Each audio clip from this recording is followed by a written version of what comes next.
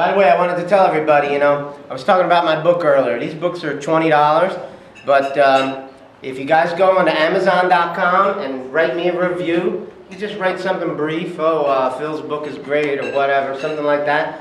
I will email you a free copy of the book, a digital version.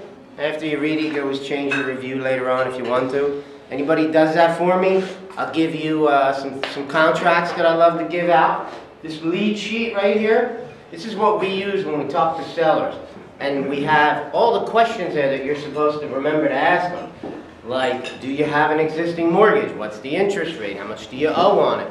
Right? And we have little stars on our chart that keep remind you to ask these important questions. So uh, we use that every time we talk to a seller. And then what I do with them, as soon as I'm, I'm done with that meeting, I go home and I scan them all. sometimes what happens is I'll meet a seller and it doesn't look like the deal's going to happen right now.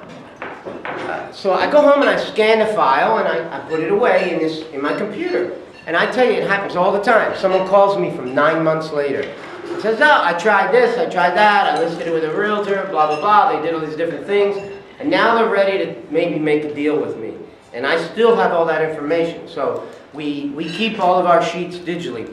We also are going to give you a cash buyer's contract that we use all the time. One of the contracts that we have in our buyer's briefcase, we'll give it to you. And we also have a property inspection sheet.